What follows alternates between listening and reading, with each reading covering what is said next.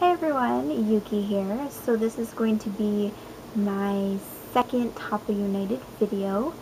And uh, the topic I chose to speak about today is um,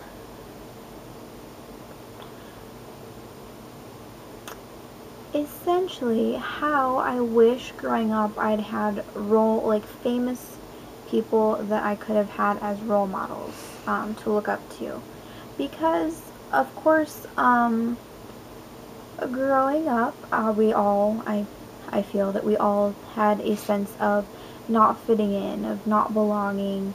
Um, you know no matter how nice people were it was always like you're always separate from everyone else. And um, you know especially for the Hapas like myself who grew up in an area that were predominantly one race that was not either of your races. um, you know, I grew up in a predominantly white area, so yeah, I, I really didn't feel like I fit in. Um, but I, I feel that, um, well, of course, growing up, there wasn't really even that many Asians in the entertainment world. It was, um, or if there were, it was like, oh, they're doing karate, or wow, they're really good at math. So it wasn't a very realistic portrayal of an Asian.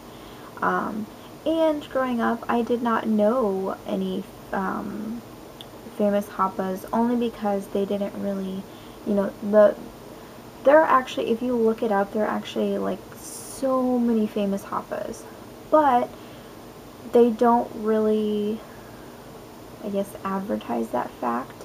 And granted, I realize that um, they probably don't want to be famous because they're Hapa. They want to be famous for their talent, you know, whether they're an amazing musician or talented singer, you know, really good actor or actress. I get that. Um, but I feel like they would be a little, and it may not even be that they're trying to hide who, you know, what they are, but I feel like it would have been nice if if people would have been a little bit more open about you know their racial background. Because um, I feel like if I would have had a few people that you know were you know famous and and Hapa and actually talked about the fact that they were Hapa I feel like I would have um, had a better sense of fitting in um, I mean, obviously not still in the area that I lived in, it still would have, I had a sense of being on the outside. But I feel like it would have been nice to have a role model. Like, look at that person. Look how great they're doing with their life.